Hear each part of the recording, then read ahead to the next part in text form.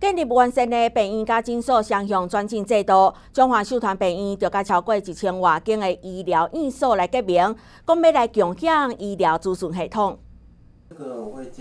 双向转诊是健保署积极在推动的政策，目的就是要让医疗资源会当更加充分利用。中华秀团病院嘛，透过十多年前就开始建设的医疗资讯系统，甲中华、南投、台南、甲高雄等所在超过一千间医疗院所结盟，提供民众更加完善的照护。在十几年前就已经建构所谓的行动的电子病历的平台。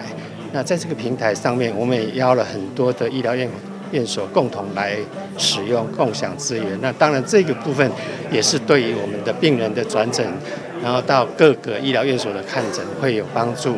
所以，其实秀传医院本身是啊，在这方面已经做了很久的时间。出席参与宣誓活动的副馆长林明宇嘛，肯定病院的做法和医疗资源发挥更加大的效益。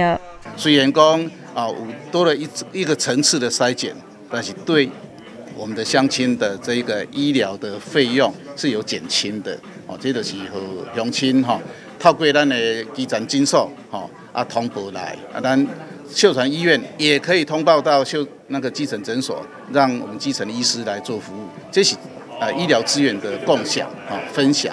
哎，透过医疗分工，让这个医疗分级这个制度能够更落实。秀潭病院嘛设有健康咨询中心，提供二十四小时的健康咨询，或者是介绍民众到就近的医疗院所就诊。大众新闻张世良中华采访报道。哦，那这个我会建议。